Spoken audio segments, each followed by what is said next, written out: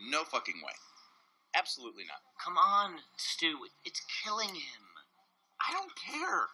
Honestly, the two of you were barely invited. Oh. I get it. I really do.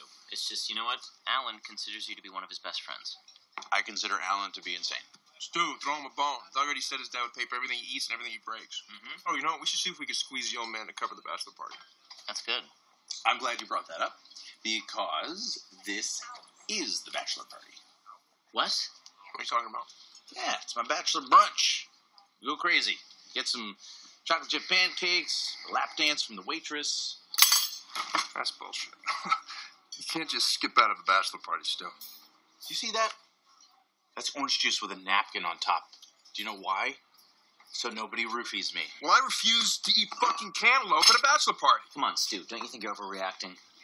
No, I don't. I'm still putting the broken pieces of my psyche back together. And you know what the glue is? Lauren. And I'm not doing anything to screw that up. Oh, please. You wouldn't even be with her if it wasn't for us. Oh, this will be good. Stu, think about it. You ended up ditching Melissa, and two years later, you met your true soulmate. You take Vegas out of that equation, you would have married a cunt. Oh, it's okay. No, no, I'm allowed to say it's a bachelor party. Drink up, everybody. Oh, wait, there's no alcohol. I forgot. We're at a fucking IHOP.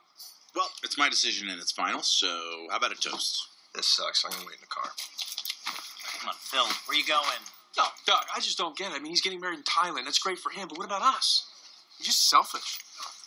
Come on, sweetheart. Shame on you. Don't worry, Stu. I will stand up for you no matter what. Thank you. But you gotta help me out with this Alan thing.